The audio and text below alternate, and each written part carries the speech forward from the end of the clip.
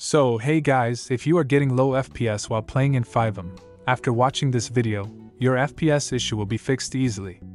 In this video, I will tell you many steps so that it can fix your FPS problem in FiveM, and if you have any queries or issues, you can ask them in the comment box or you can join my Discord server, there I can fix your issue with live voice support. So the first step is to clear your RAM memory with a Microsoft software named RAMMap. By using this software, you can free up your RAM memory that is being used by some unwanted window applications.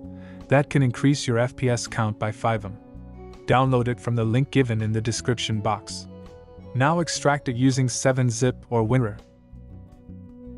Now here, open this application named RAMMap. Wait for it to load. Then open your Task Manager go on Performance, click on Resource Monitor, and here click on Memory. Here you can see that my free RAM memory is very low. Now here in the RAMMap software, click on Empty and empty all those memory sets. Now empty Standby, Modify, and use Memory Cache. You can see my free RAM memory size increases. You have to do this every time you are going to play on FiveM. Let's move on to the second step. In the second step, we are going to change some NVIDIA control panel settings. Basically, if you are using the wrong NVIDIA setting, then it will also cause your FPS count to drop in FiveM and in other games too. So here, open the NVIDIA control panel, click on Manage 3D setting, and now here, copy my NVIDIA setting to your NVIDIA control panel. You can pause the video to match my settings.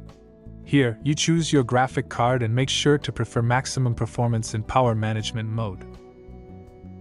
Now, after matching all the settings, click on Configure Surround, PhysX, and here in the Physics setting, make sure you choose your graphic card in the processor column, as I have chosen my graphic card. So all we are done here. Now let's go to the next step. So in the third step, we are going to clear the temporary files from our PC. Most programs will create temporary files, even if they are not used. Make sure you always clear them whenever you are going to play FiveM. So here, go to the Windows search bar, type run, and open it. Now here, type temp and hit enter. Now select all these files and permanently delete them using Shift plus Delete. Now again, go to the run command, type prefetch and hit enter.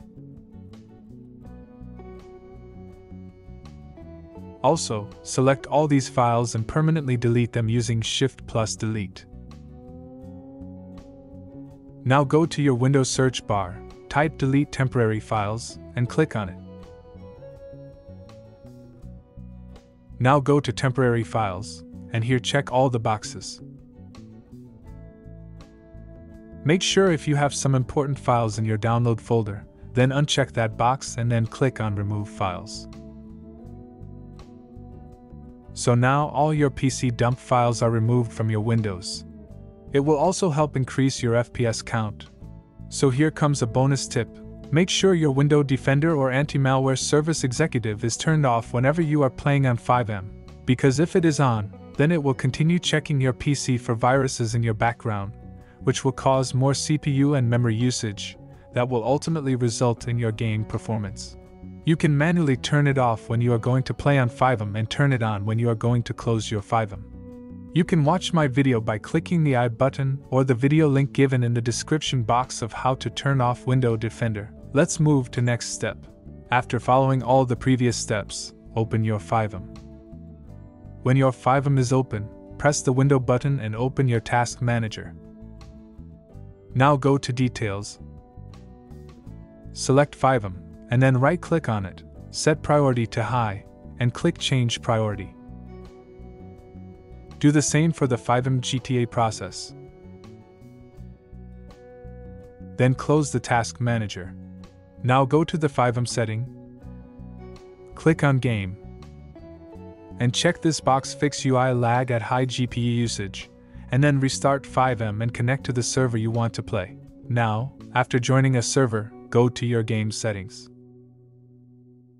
Here, Go inside the graphic setting and copy the same graphic setting as mine shown in this video. and these settings will give you the best FPS as your GPU can.